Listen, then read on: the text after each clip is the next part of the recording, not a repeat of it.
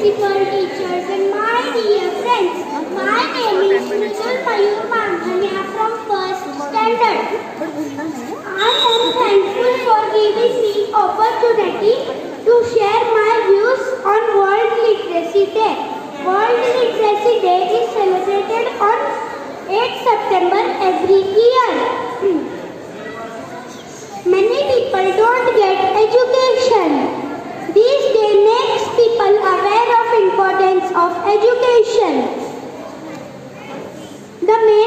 purpose of celebrating this World Literacy Day is to encourage awareness among the people about literacy so that everyone knows their individual and social rights.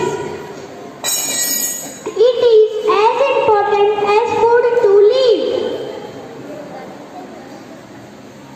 The personality of individual is polished if